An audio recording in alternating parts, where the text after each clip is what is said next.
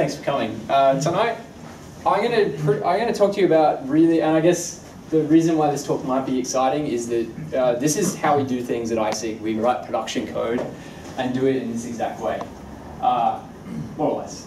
Uh, but the, the concepts that we use uh, is, is there, and, and you can take these concepts once you've learned them and go and write really kick-ass functional code that does a lot of cool things.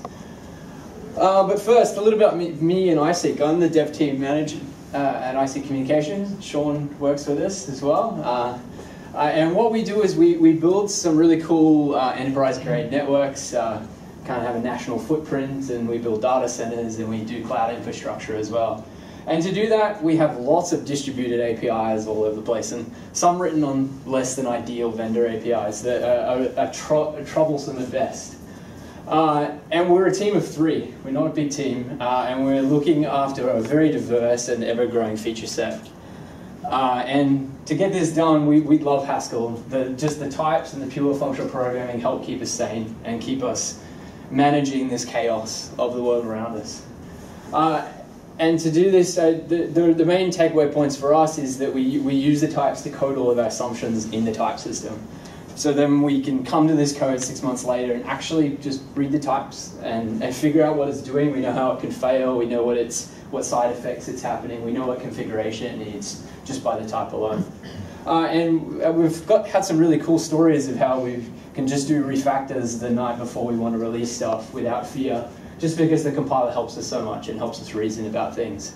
Uh, and it's allowed us to move so much faster than our Java and Perl days. It's just crazy what we can get done now with Haskell, which I find really cool and really exciting for all the stuff that I'm talking about. So the goal of the talk, uh, really it's to help everybody understand what the hell I talk about when I talk about these kind of things, and really make the jump from FP and small, of doing the Yorgey lectures, and writing your little functions to actually writing a big non-trivial app with layers and configuration and errors and all that kind of stuff. I just went and talked about all that. Uh, so often that involves having some kind of configuration, catching exceptions as soon as you possibly can, because in Haskell, exceptions are completely bad juju and you do not want them in your code uh, if you're going to maintain this code and keep it running every day. Uh, just the absence of stack traces alone are enough to uh, uh run away from that as fast as you can. Uh, and as I talked about before, we, we like to represent all the failure modes of our applications in the types so we can reason about them.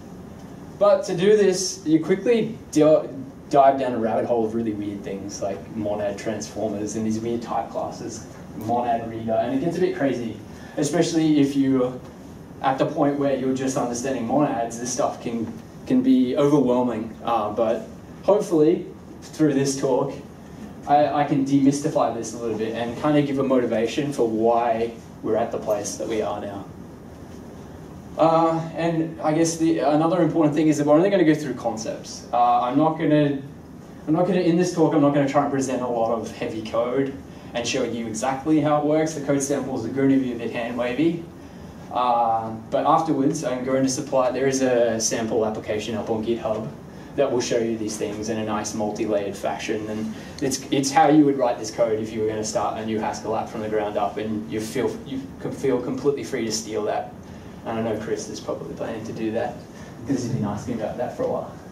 Um, but I guess the main point is don't worry if it doesn't sink in uh, completely, especially if you're in the still learning stuff from the Yorgey Monad lecture. Don't worry about it. Just these things always sink in bit by bit. So just kind of uh, uh, take in what you can and we, you can learn with the code offline.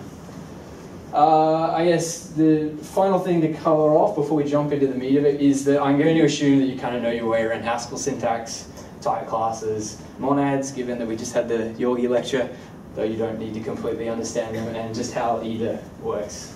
Uh, and if you don't, if you find that this is getting in the road of your understanding what the hell's going on up here, just put your hand up and we'll try and clear it off. Uh, and explicitly don't don't be put off by the first chapters. I, I, explicitly start at a level of abstraction that's quite unsound and annoying, uh, so that we can actually see why we have these things and make those logical jumps. So relax, sit back, and just enjoy the show. Uh, you'll learn all this stuff in time. Don't be too afraid if it doesn't all sink in. So, we've we when running. Is that too small? Is that? I. Uh, yeah, I. I had a problem where this is probably the biggest that I can get it. Uh, is is that okay enough, or should I really spend some time on fixing it right now? That's okay. Sorry. Uh, Reveal.js is awesome until you run it on a big TV, and then it's not so fun. Uh, but uh, you'll get you'll get into your Haskell programming where you have something like readfile, where you can give it a file path and get back the string of the file inside it. But really, this can fail, and while looking at the single read file function, it's easy to say, oh, well, the file might not be there. We may have forgotten our bads, as it were.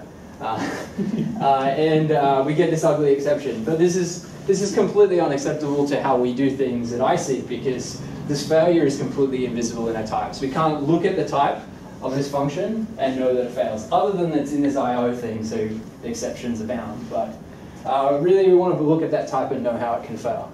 So we can do better than this. And normally our first attempt with this is to kind of wrap, put an either inside our IO action so that we can represent the failure inside it.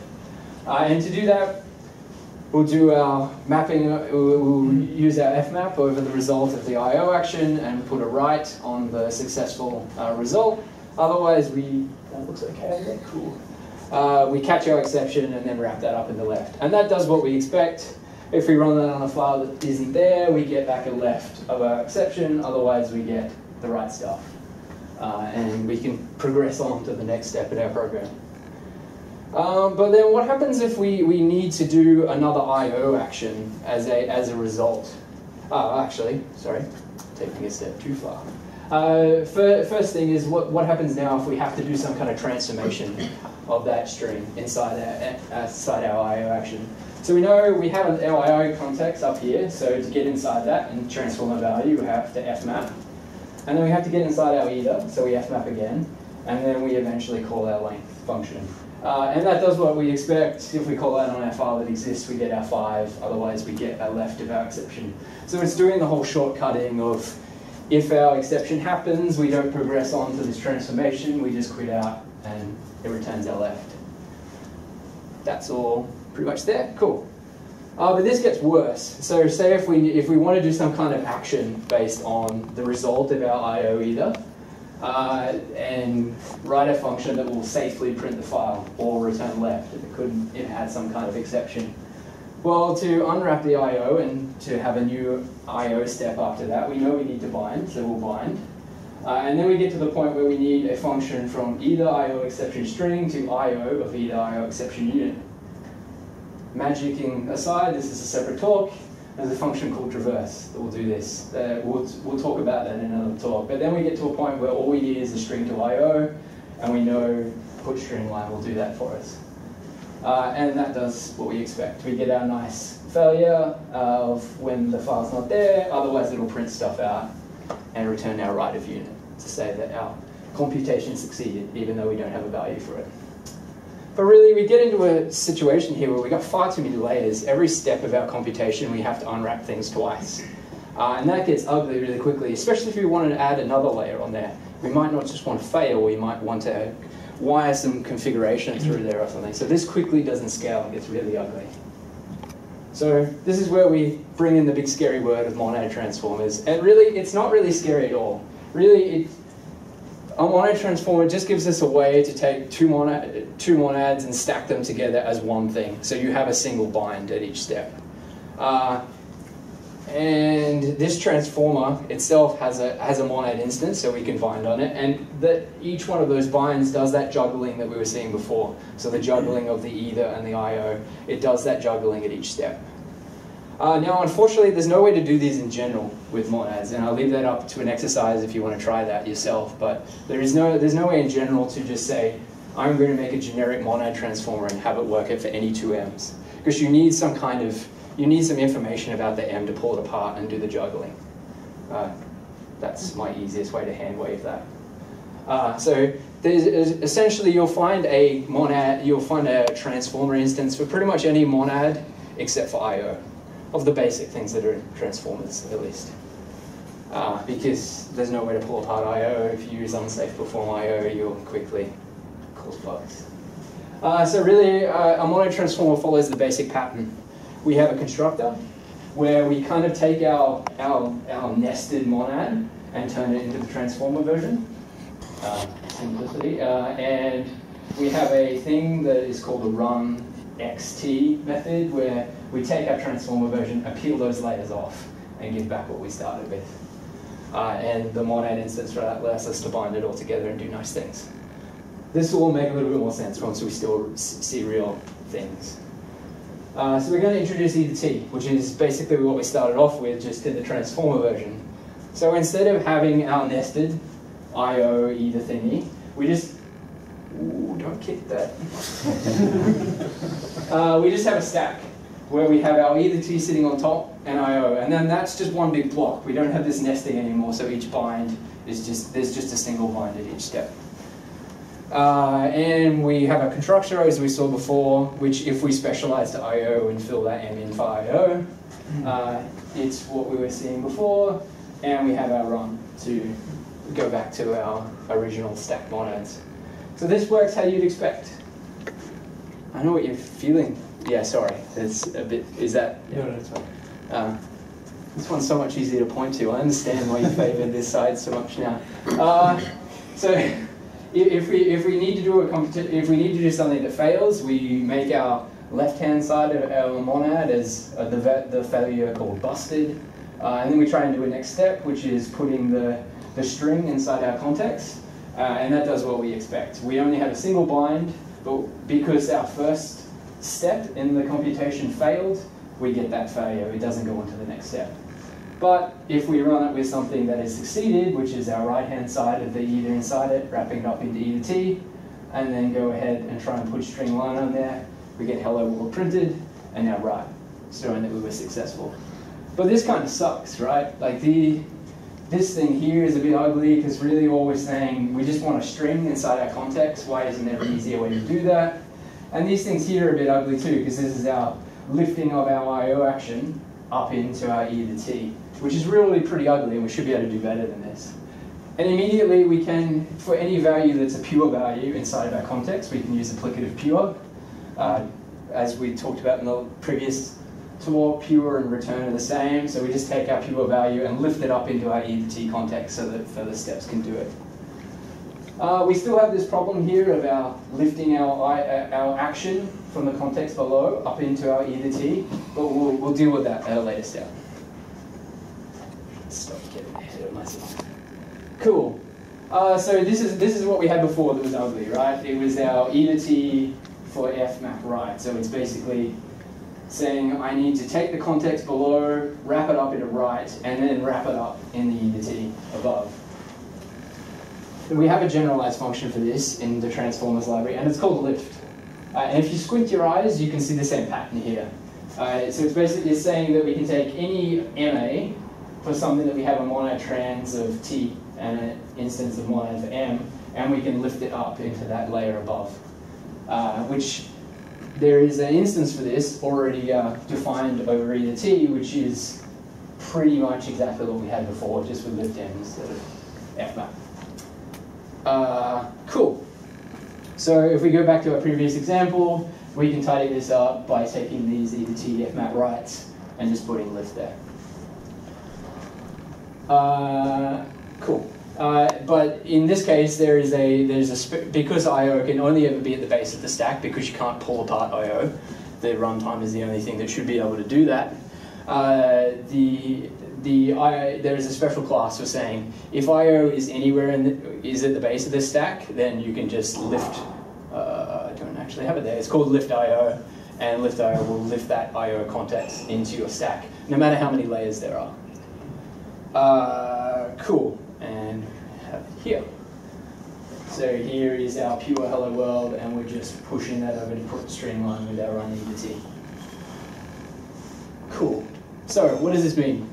Uh, we've kind of we've we've replaced those nested monads with our transformer stack, and it really means that we can get that effect of having I/O and either and the way to the this failure mode, uh, while still only having a single bind per step and not having to do all that juggling because the transformer is handling that for us. But uh, Cool, uh, but really the, the problem that we have now is that that lifting is a pain. So every, every layer that we have in our stack, and there can be more than two, two, two bits in the stack, we have to explicitly call lift to get the action from below to go to the next one, to go to the next one. And that's a real pain if you, if you want to write your code in such a way that you don't want to care about the layers. You want to be able to add a layer at any point and then not have to add another lift at every part of your code, because that's, that's really crazy. Uh, so we want to get rid of that. Uh, but first, we'll, we'll, we'll jump on to just learning another mono transform, which is called reader T. Uh, and I get, I'm sure everybody in their Haskell experience has probably written something like this, where you have a common thing that you, each part of the computation needs, and you're threading it through all the different substeps of there. And this, this gets even worse when you have substeps that don't even use that, that configuration, but they need to take it just by virtue of having to give it to layers below. Uh, that gets really ugly really quickly, and it's it, it's almost it, it's almost something that uh, discourages abstraction and refactoring because you have to pass this damn connection around so much. So there is a way to solve this, and it's with read T. And I guess basically you can if you if you need an analogy for read T, it's a it's a thing that is waiting for a bit of configuration, and when it gets that configuration, it returns the action below. So it's a it's a step of your computation that it needs that configuration to do its work, and once it has it, it will produce that value for it. Uh, and the cool thing about the bind the bind of reader T is that it composes all those little functions of things that are waiting for a configuration to produce an action and wires all those together so you don't have to do that. And the result of that is just one big thing that is after a configuration and will return you your result. So the cool thing about this is that you can transform code like this and remove this explicit connection here to just be a reader T, a connection IO, which means that each one of these steps now has to be a reader T, which we haven't lost the ability that we we haven't lost the ability to see in our type that our computation depends on the connection, but we've removed the need to explicitly pass it down the layers. Uh, which is really cool because you can remove all those connections, and when you get down to these layers that don't need it, you don't need to mention it at all because the, the sub action of this action here is another reader T, and all these things will flow down uh, by virtue of how the reader T works. Uh, and then, and the nice thing about this is that we only have to care about that connection when we're actually doing a query. So if we have this if we have this function here, which eventually takes the connection, we can just wrap our thing that is going to do our IO action of the step below, uh, and just wrap it up in a reader T and make these things happen. That's still a bit ugly. There's still better ways to do this, but we're just explaining the concepts there. Uh, and of course, there is our run reader T function, which is just taking our action that is waiting for our configuration to produce our MA and giving it that configuration so that it can produce the result for you. Uh, and this does what we pretty much expect. If we make a program here which has two steps in it where uh, we, our first step just puts the configuration directly and our second step uppercases that configuration, and in this case the configuration is a string, uh, then, and we run it, we will get the put string line of the uh, string that we put in there, and we'll get the uppercased version as well. Um, cool. So, uh, we've gotten to the point where we kind of know what reader T is. It's, it's, it's something that we can stack on top of our stack, because we can stack it on any monad or monad transformer. Uh, and it can give that it can give the ability for that stack to need have access to that configuration at each step of the way. Uh, but it hides it hides away that configuration passing so that we don't actually have to care about it until we need to use it. Uh, and at the end, we just we run it and pull that apart when we actually need to get the value that we need. Cool. Uh, any questions at this point? Because I'm going through it really quickly. Uh, so if I'm going to too, through it too quickly, let me know. Actually, a little bit. You said like monad stack, so just assume that stack just blows apart if you have an error at any point, right? Uh, what do you mean blow apart? Like say like if you're trying to read that file and it's not there, it's just gonna stop right then, right? Yes, the steps, the further steps don't happen because the E to T stack, basically at every step of the way, it's pulling it apart and saying, is my thing inside left Well, if it is, then I don't need to do anything because there's no possible sub-step that I can do. So, If you want to have like three or four steps and you want to do like something different if it gets to like step three, yep.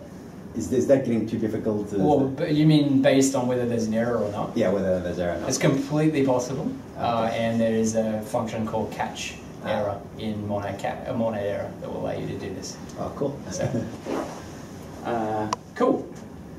Uh, anything more? Yeah. Yeah. Why doesn't do query have the type of reader T? Uh, I it think it was could, back before that one. it could have been a mistake. Oh no no, because this is the thing that's this is the thing that's doing our I/O thing. It could, Why doesn't it, it still could be reader T, couldn't it? yeah, it still could. I was just kind of trying to make the example that all a reader T is is something that's after that connection and produces the I/O action Oh, okay. below.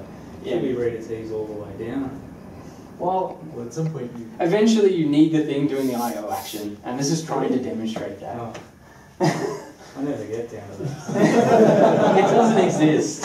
do, you, do you put reader T's all the way down? No, I just wish for it. And here I He am. uses the custom. I mean, we'll get to we'll get to it we'll get to it soon. I mean, really, that thing is probably a reader T where you ask for the configuration and not actually construct the reader T like that. Well, So- Usually what happens is do query is some other API that someone else wrote. And so I have to go, why didn't they use reader T? And then I have to start manually passing stuff around. Yeah. So sorry if that was confusing in that sense, but this is just kind of saying this is an action at the layer below. This is the I/O that needs the connection to do its job, and we're packaging that up in reader T to say that this is now not this. Well, it's still this function, but it's now in the reader T context, and it can be composed with other reader Ts to join all that magic together. Abstract, not magic. Sorry. Uh,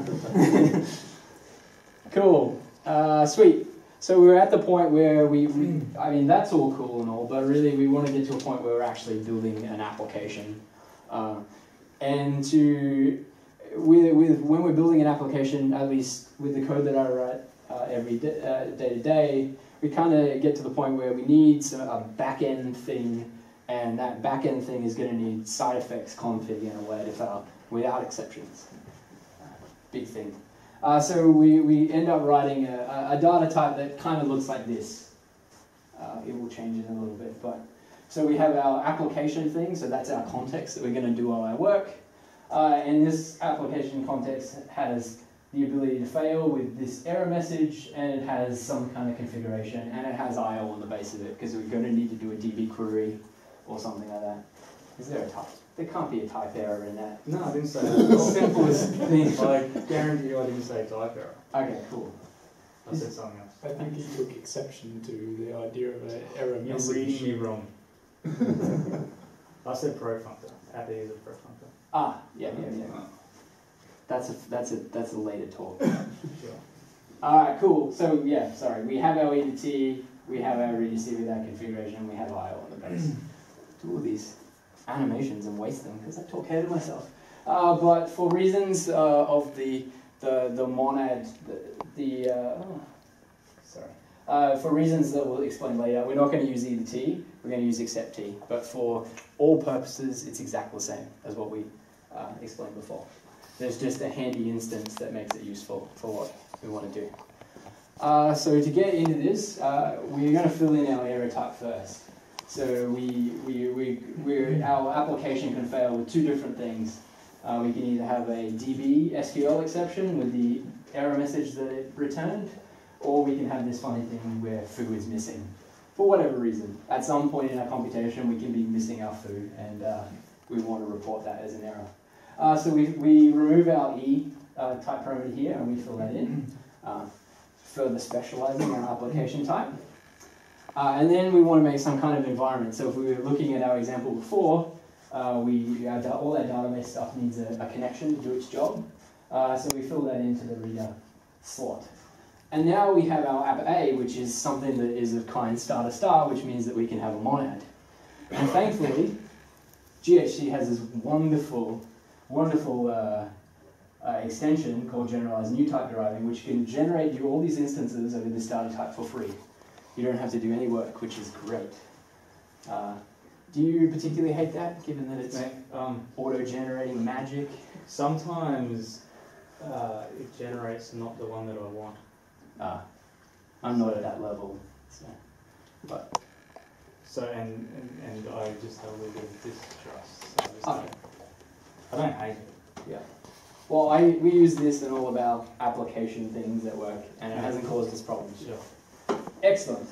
Uh, so we, we generate all these instances. We're familiar already with functor, applicative, and monad. Uh, we've seen monad IO for our lift IO, and we'll get on to talking about what monad reader and monad error are. Uh, last but not least, we've got a bit of housekeeping. Every monad transformer thingy has some kind of run thing to give it what it needs to do its job and it into the, the actions below. And this is no exception. It's just peeling off our new type here, running the reader with the configuration, and peeling off the the accept key uh, and returning our either inside our IO action. Um, cool. So now we'll actually talk about what the hell monad reader is. So it's a, it's a type class that says for any m, regardless of how the stack is or whatever parts it has inside it, you can ask that m for a value. You can ask that m for its configuration. So if you call ask, you will get back a an m, your context, with the r inside it, or you have this handy function called as, uh, which takes the configuration and transforms it to something else. The reason why you could use that is for, uh, say, your like before our configuration is a record. You might use the record accessor to pull out the exact thing that you want in the configuration rather than doing an fmap or something like that. It's just a shortcut. Uh, and we use that like so. So if we, if we make our reader t context here with just asking for the current configuration value and storing it into R, and asking for the uppercase version, uh, and then returning the tuple of those two things, we get a result much like we saw before, where we've uppercased the configuration in one and left it alone in the other. Yep? Is ask and uh, or are ask and asks both part of the definition of monad reader? Like, are they members of the class, or is only ask uh, a the class? I thought I had a weird thing where I thought both of them were in there. Okay. But- I think it is. Sorry? I think so. Yeah. why? Because I don't think it has a super type of functor. I thought there was some rules Ah. there that you couldn't actually Yeah, implement it th- through historical mistakes. Yes. Uh, I thought that was why. Okay. And there's also local, which allows you to change the configuration and put a different configuration down some part of the tree of your computation. But you don't. That's crazy stuff. You really you only need to consider these two while you're still learning. Cool. Uh, and then we have monad error. So this does the same thing. It, it says for regardless of the shape of what m is, I've got a way to throw the error.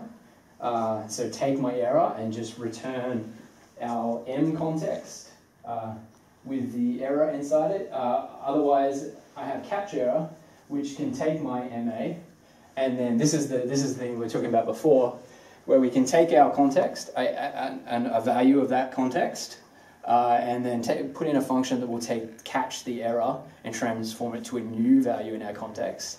So we could use that to say catch the error of this thing and then recover with this function.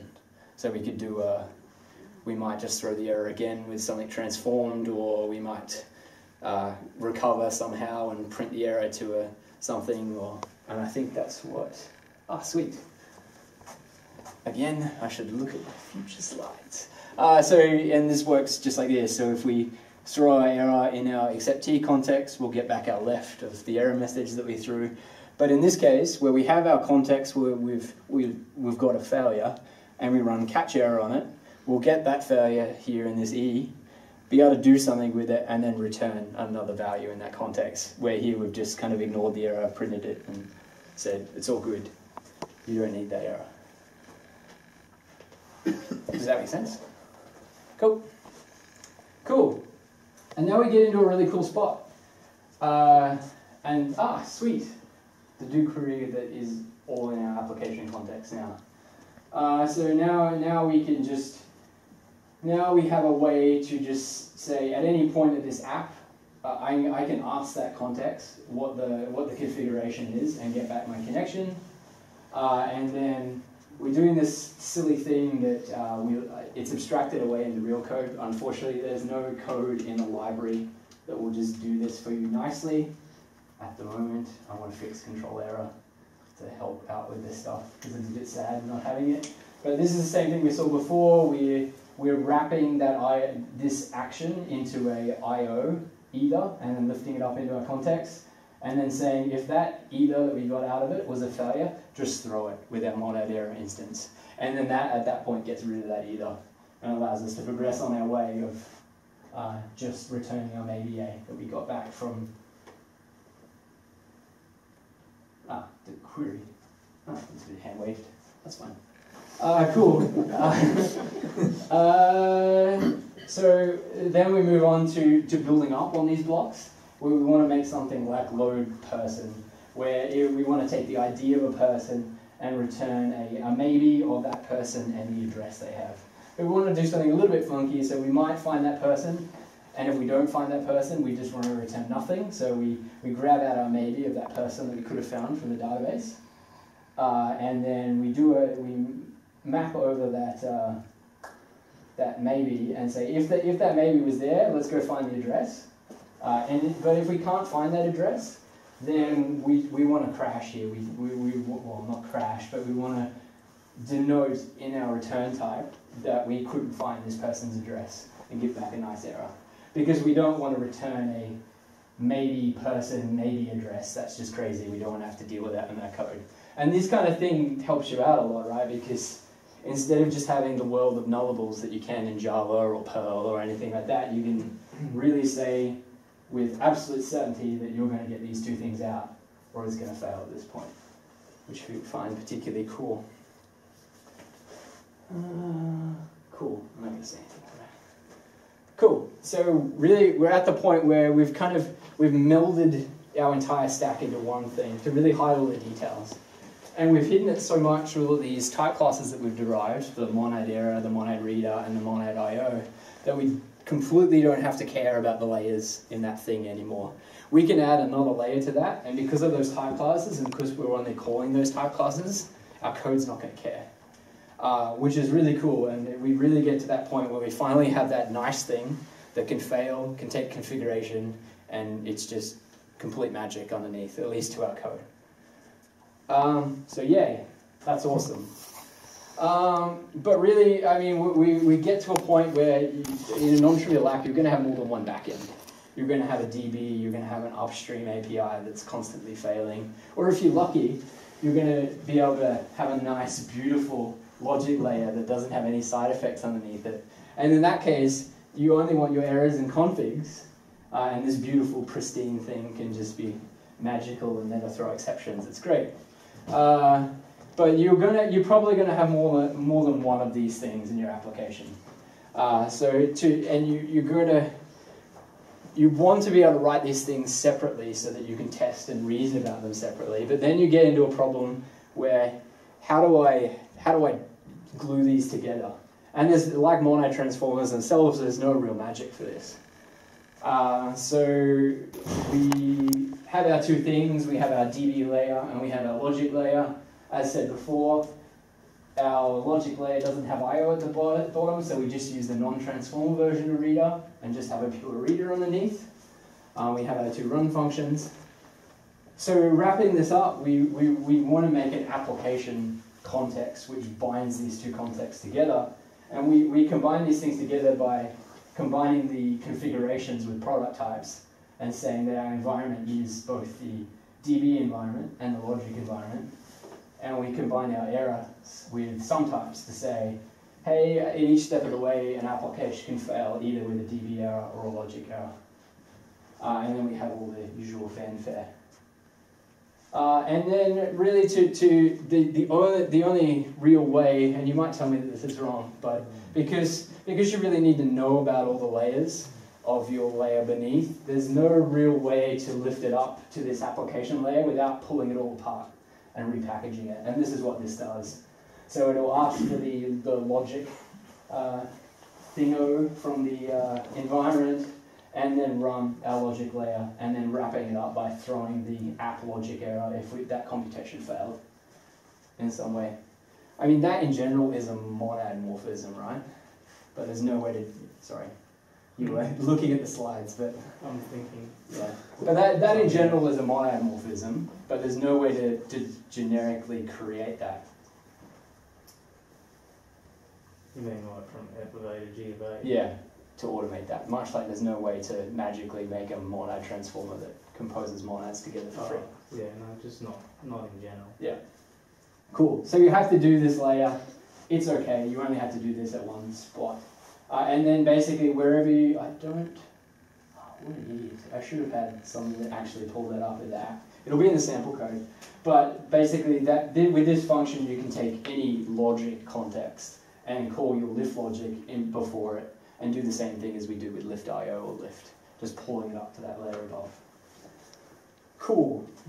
So takeaway points nested monads suck. You don't. There's some times where you you just you probably deal with this in a localized point in your code, but you don't want this pervasive through your entire code base because you don't want to have that nested binds at every step of the way.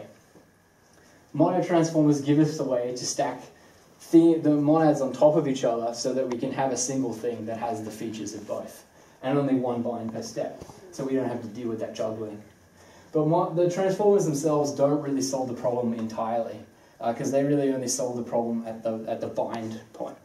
They give you a bind that does the juggling, but you to construct the actual transformer value yourself, you have to do a lot of lifting, and that part of the code needs knowledge about what the stack is to be able to do that lifting. So that kind of sucks. But the MTL, the classes that we find in MTL, like monad reader, monad error, monad IO, remove your ability to have to care about what that stack is. Uh, so we can, eh, the parts in the code we're actually using these contexts, we don't have to care about the layers anymore, which gets us into a really good spot. Cool. Uh, and we talked about that. Our ExceptT on an error gives us a way to throw and catch errors, and the reader gives us a way to thread a config through, and not have to care about that config until we really need it. Um, and as we talked about just before, we, we can write out these things as separate things that we can test and reason about in individual bits and do manual lift functions to unwrap the layers below and bring it up. Cool. So there's some further ideas uh, that are worth mentioning, but I don't really want to talk for an hour and a half and lose everybody in the process. But if you're really going to take this, if you're really going to take these ideas to the to the level that you want to be writing production code in it, you probably should look at things like controller error. Uh, it's a really good package for defining what's combinators for just catching exceptions and dealing with going from maybes to eithers in nice ways that kind of say, well, I have this maybe, and if it's not there, uh, throw this EitherT value or something like that. There's a lot of really cool stuff in there, and it re-exports all safe so that you can have all the functions that aren't going to crash. So it has head maybe and uh, tail maybe and all those kind of things that aren't going to throw exceptions. Because the, the real problem with exceptions in Haskell is that you can only catch them in I.O. So you really, the, the exceptions that you get out of things like head are terribad evil, like because you have to jump into I/O to be able to catch those and get those out of the way. So you really, really don't want those. So the package like Safe, which control error exports, are really, really handy for you to be able to write code that just doesn't crash. Uh, Data.validation uh, has some really cool stuff in it for the AccValidation uh, type. Has a way to, it, it doesn't have a monad instance, so it only has applicative, so you can use it for going through a whole heap of validation contextual steps uh, and grabbing all the error messages that happen rather than doing what either does and crashing or, or stopping on the first step. So you can use that to validate a form and get back everything that fails rather than just the first failure, which is really useful for a lot of cases. And it really seems like you're trying to take that package to subsume EitherT and everything. So that sounds really cool. Yeah. So Tony and I worked on that package with a couple of others, Yeah. and that hopefully gets folded back towards some of the other things. Yeah. Because a lot of a, data.validation seems to be the only place where error accumulation exists in Yeah. the libraries, which is very surprising to me. Well, there's there's a um, new e- thing in du- either Yeah, that yeah, does that. but- yeah. With like a quarter of the instances or something. Yeah. And, yeah. Yeah. So um, Anyway, it's that's cool. So if really you want cool. to ask about that at the pub afterwards, Yeah. happy to. Really cool for just doing things in a slightly different way. Because it's an applicative, there's obviously no transformer instance there, but you can get around that and still pr- produce nice error messages. Uh, controller lens, completely separate talk. Can't really talk about it very much here, but the I do use it in the sample code for the, the the reason why controller lens is really cool is that the concept of a prism, which I guess uh, it's a thing to do pattern matching in a nice composable way. Uh, and you can, but you can use it to make the layers of your errors go away and really map down them in a nice, nice way that doesn't involve pattern matching at each of the steps. Uh, so you can use a prism to go from your uh, application DB error to something into a branch inside your DB error and kind of unravel all those layers in really nice ways. Uh, can't talk about that anymore, but have a look at it. It's awesome, and you'll want to use it to if you really get into the Haskell production mode kind of thing. Uh, and don't forget about Scala. All this is it is possible in Scala. Uh, the Scalaz library does a really good job of making this stuff possible in Scala, even though Scala tends to fight it at every step of the way. Um, I don't have sample code in Scala, unfortunately, but if there are enough people that are particularly interested in it, I've we've done all these ideas in production Scala code. So if pe- uh, there's enough people that ask me for it and are keen on it, then I will do it. I just didn't get time to do it for tonight. Um, so come chat to me over a beer or send me an email if you, you're interested in that kind of thing. But it's all possible. There's just the way that the inference works. The type classes aren't so magical, and you end up kind of having to care more about the stack uh, and piecing it all together yourself. Uh, there's some further reading which is really useful. Uh, the two chapters on real world Haskell is probably the only place that actually talks about it. Uh, monad transformers at the very least, uh, and there's a chapter on error handling as well. Um, the MTL docs and the transformer docs on Hackage will tell you about other transformers that we haven't talked about. Uh, so there are transformers for writing, so you can write out a log at every step of your computation, and there's also StateT, which allows you to have a mutable variable at each part of the step. It's not really mutable, but you can grab the previous value and send the changed value onto the next step to do safe mutation across your computations.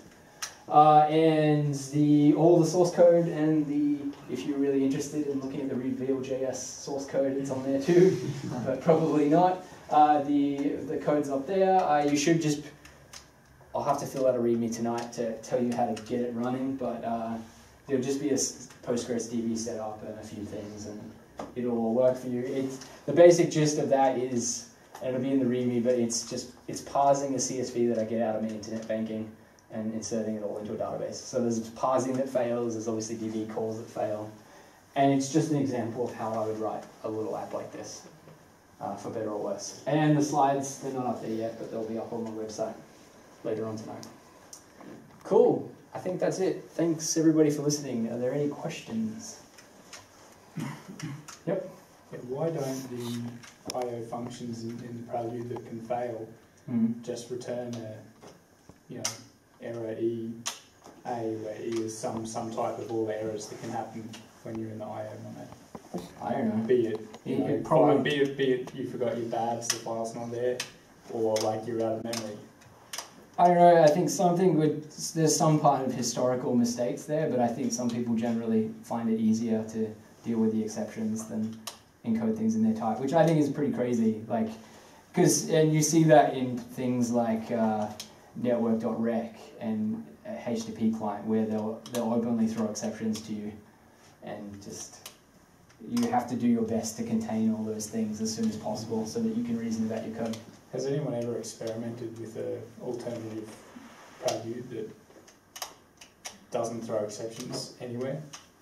Ah, well, I mean, certainly that's possible with all the partial the partial functions. They can just disappear; they're not necessary. But- Sorry, just use yeah, safe. I mean, even even for I/O, like you know, if you know, you, if you try to resolve a host name and you know, you, there's no resolution, you, I- it's going to throw an exception. Yeah, I mean, Why, why isn't there some type for that? And has anyone experimented with the with a version of the Prelude? Spoon then? library do that? Spoon does do that. It, it like uses unsafe perform IO and it uses uh, NFData to completely make your entire data structure strict as well, to completely get rid of all exceptions. Because I guess the, the takeaway point from that is that because Haskell's lazy, be- if you haven't evaluated the entire structure yet, an exception could be lurking all the way off to this part of the tree of computation. So it's particularly evil for you to say this computation has absolutely no exceptions at any point of the step way. You either need to completely remove all the laziness and evaluate the entire structure and catch the exceptions, or you need to be able to code in a way that you can say there's no exceptions there. And that's the way that we go, because we just wrap everything up in these EitherT's and whatnot, so that we, we're explicit about that. And we know we don't have to worry about all that kind of stuff to make it happen. Stack traces in seven ten. Are the stack traces still based on the profiling cost centers? Uh, I think they're based on the partial dwarf information it's having in seven ten. So they're Okay. available now based on profiling in seven ten. They- They're not available to me because as soon as you hit template Haskell, profiling's out. And most Snap apps have a template Haskell wrapper around the main function. So I don't know how screwed. dwarf stuff's going to go with template Haskell either, but yeah, we can hope. I think it's going to be later. Oh, I think dwarf comes a bit Oh, right. 17 and then the next one will be. there's a partial dwarf. There's, a, Yeah, there's enough yeah. to get some info. I'm not sure it's actually on, so I might be wrong. I thought it wasn't all hooked together yet. In, in pagan languages, I can throw an exception and it will just go up the stack. yeah, Um, and obviously, with that, you can have, you know, the either will do a similar thing and abort the computation and Hmm. simulate it going back up the stack. But if I have multiple layers, each layer may have different types of errors that it can return or throw, for a better word. yeah, yeah. Um, how do you handle that scenario? Like, say I've got a low-level database error, but three layers above it, my, my failure conditions are different. Do you just make sure everything is total and you're handling all the internal conditions? How do you wrap? Um, Well, that that that was the bit. Please come back.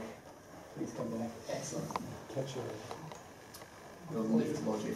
Yeah, it's really it's it's really this guy here. So you're you're, you're wrapping the layers of errors up below. But you may you may choose to completely ignore the DB errors and wrap them up into something else. Like you don't have to just wrap that up verbatim. It's just normally the way that it goes. Okay, so that means that at the high level, you need to basically have a wrap up for each of the underlying. Yeah, yeah. And you, you, you might have you might at the app layer you might have errors that are completely unrelated to the to the errors of the sub layers. You might have a missing foo error at the end of here.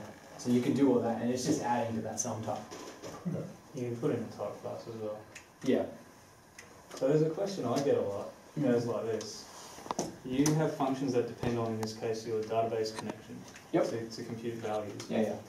Um, and this is all well and good that you're passing your connections down. Mm-hmm. But had I taken a different approach and instead had like a global variable that holds my connection, this new problem that's going to come along, which is I need to now depend on something else Mm. as well as my connection. I don't know, my host name, for example. I don't know where I'm Mm. sending the data to. Yeah. If I take your existing code, which currently depends on connection, Yeah. I have to go through all of that code and start adding the host name as well, or, or modify the mm. stack. Or I just put a new variable in. Yeah, this but- is the way the question's presented to me. But the, the way that this works, it's actually pretty cool, right? Because this, you would just add the, the field to your DbEnv and nothing else has to change. Because Uh, Does that end up with a bit of a God object passed through the code base? the top level, this top level M is very much a God object, but each, each of the layers below only care about their part of the environment. So you're not, you're not saying that in the DB layer you have access to this entire environment. Uh, which is, no, you, you, You zoom in. you pull out. You zoom in. You're right, you just put it in a record in this case. So I'm Yeah. going to modify the question a little bit. then you're just cheating. um, well, And I, I guess, I guess now that, I'm- I need to modify my host name. Like I need, you know, um, my my client rang me and they need to modify the host name by clicking on the button. oh yeah, So it's no longer a read thing that gets read; it's a modifiable thing. yeah, So now you have to go and change all your readers to states. yeah. Um, and, if I can keep going with this question until eventually we go right, screw it, I'm going to have a variable. Not But- that you, not that that's the correct But- answer. but my this answer is the that- way that the question is posed to me. Yeah, but my answer to that is that once you've got to that point, you've lost because you've, you've lost that ability to say, hey, I look at this thing and I know exactly what that context does. we did this for a reason. We want to be able to look at our code 12 months later when we haven't touched this code at all and look at it and go, oh yeah, I don't want to have to care about this variable off to the side, even though that might make it easier to for you to add this feature. If we make the structure of our computation reflect exactly what we're assuming is going to go on, we're going to have a much easier time. But when it, when it comes time to change it though, I've got a lot of work to do. Um, if I hadn't used the variable, then I don't. Yeah, but if, if you if you cheat and use the variable, then you just have a lot of work to do 12 months down the track when you have to understand the damn thing. And I, I prefer to make writing code harder than reading code. hmm Uh, so I'll tell you my answer to this question, if you like. yeah, go for it. So um, the answer to the question alludes to your monad reader and monad state and so on. Yeah, whereby you don't construct your programs whereby you are in, you know, explicitly reading the connection. You just say any kind of stack such that I could read a connection. yeah, And that way, all the parts of your program that only depend on the reading of a connection Yeah. Will have will will continue to work. And the parts that now have to do the modifications, they're the only parts that you're going to have to change. yeah, So it'll go from monad reader to monad state, for example. And they're Yeah. probably exactly the parts that you need to look at anyway to make sure Yeah. change. Yeah. So the, the work that you, the the goal that you want to get to is the work that you need to do is nothing more than is inherent to the problem that you've yeah. got. You were going to have to change those things anyway. I, Uh, I, what I don't want to do is the need to change something propagates from the whole program. Yeah. So really, I, I, I want to limit my necessary changes to be the size of my problem that I've got, Yeah. which is to clicky button and cha- make it change whatever it is. Yeah. I think if you took some of the type and the type signatures off your functions, that would be more general, right? The ones where you're doing The ask and the ask and the throw errors. yeah, definitely. So they're definitely. actually functions that And in the in the sample code I do, uh, it's just once you get to the point where you have every cons- like the when you when you're jumping between layers, it's not you, you can't rely on those things too much anymore. You kind of have to jump up and unwrap things. Oh, actually, no, you don't. Yeah, I think the only reason why sometimes I don't do that is because sometimes it gets a bit unwieldy. And if I know it's the entire thing, then I'll just write db, uh, which is sometimes bad, which you shouldn't do. That's okay. Uh, but yes, yeah, you could you could definitely, and I might have actually. Good point. There is. I've been doing this stuff using just the technique of programming against the type, the high level type classes, not the explicit stack. Yeah. And what happens is you don't have that lift logic that takes you between two little stacks because you Uh, only no, have one top level. I couldn't get away from that because it's because these things are different. Yep. There's no there's not a good way to. So I only have app, app env and app error.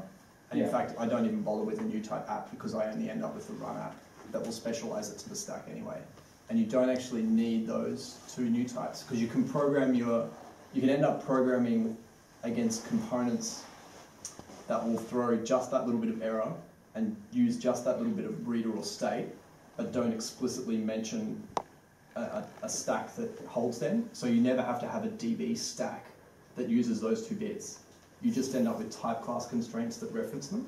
Yeah, I, Is this with class events? Yeah, Yeah. Yeah, 'cause you- you- you can't just do that with- Class events is to do it. I I, don't think. I, I, I read, you run into problems Oh, with you need the has type classes? Yes. Yeah, because Sort of, yeah, you yeah. run into problems with functional dependencies in MTL if you try and do it purely with monad reader. Because you can't have the two M's that depend that access a different part of it. Yep, yep. Uh, so this is this is kind of explaining the first the, the first step of understanding MTL, and if you there is a next step after that. But, Well, I skip that step. yeah. So I skip lift logic. Yeah. I don't know how to go between two different Yeah. stacks. That's, but if you want sounds if you if you want to understand how these things work, this is this is probably the first I step. think I to- understand how they work. Talk about the pump. Yeah, talk about it. But yeah, that that's interesting because uh, certainly just with pure MTL, I've never gotten that to, to work nicely. I'm keen to know what the next step is. Uh, I'm like a convert. Excellent. Because if we, uh, what's done? Uh. Born again? Born again MTL user. but if we if we jump into source and then CSV uh, and wait for GHC mod. Oh.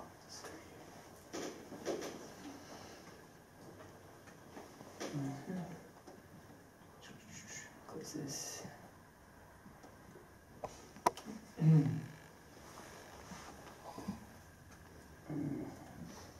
Oh my god. That's fine. Type away. Uh, but, uh, Jesus. I I would have come just for that wallpaper alone if I'd known. Uh,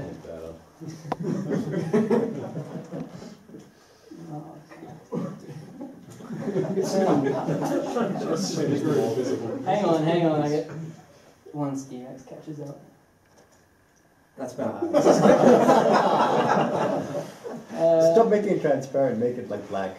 Yeah, it's just with Emacs that's going to be too hard. Uh, it in front of everybody. There we go. Excellent. Sorry. Cool. Yeah. Uh, let's see if I can actually not have wasted everybody's time and find an It's a example. cool of colour scheme. Thanks. I just invented it then. Uh, So, something at the top, please.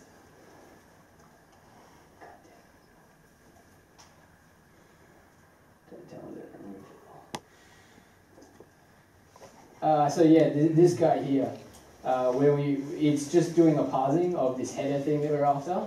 Uh, and we know that it's just, we, we're writing it in such a way that it's, it's just saying for any context M, as long as it has to, has a way to fail with CSV error, and I also need applicative because obviously I used uh, somewhere, uh, then I can do what I need to do. And that way you can care a lot less about M. Uh, and that gets you even further. And I think that's it. If there aren't any more questions. Yeah.